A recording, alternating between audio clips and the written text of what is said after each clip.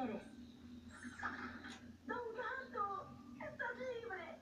Te han dicho que gracias a tu ayuda, ahora te sacaremos de aquí. Ay, Don Gato, lo que hice no tiene excusa. De eso hablaremos más tarde. El oficial Matute está distrayendo a buen rostro, pero no por mucho tiempo. Ah, ¿Algo de tecnología?